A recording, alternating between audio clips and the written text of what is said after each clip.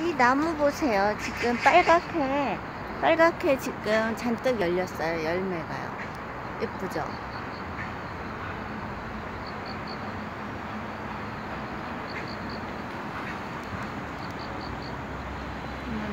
많이 열렸네요.